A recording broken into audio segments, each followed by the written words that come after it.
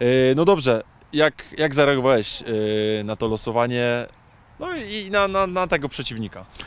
No bardzo spokojnie, oglądaliśmy gdzieś tam w, e, przy innych obowiązkach zawodowych. Udało się dziś odpalić projektor, troszkę zrobić, żeby dzieciaki się dowiedziały, jakim klubem jest Lechia Zielonogora, o co chodzi.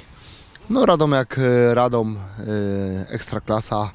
Spokojnie, spokojnie, bo jeszcze daleko do tego meczu. Okej, a to inaczej zapytam.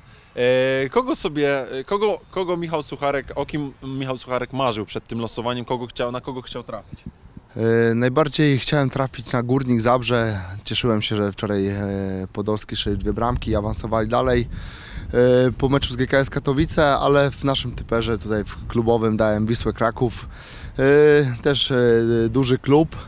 No nie udało się, 20 zł muszę za chwilę do skarbonki oddać.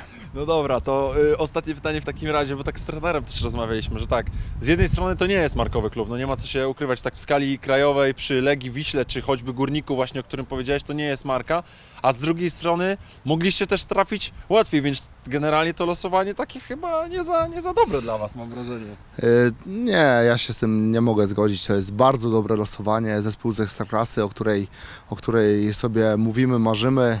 Drugi raz pod rząd po Jagiellonii przyjeżdża Ekstraklasa i dla nas to jest e, jedno wielkie święto. Dalej, dalej to jest nagroda po tych wszystkich e, wcześniejszych spotkaniach. My się bardzo cieszymy, że przyjeżdża Radomiak. Jest to dobry zespół, e, grający już w tej Ekstraklasie, mający określony poziom zawodników i znowu się sprawdzimy na dobrym rywalu i zobaczymy co będzie.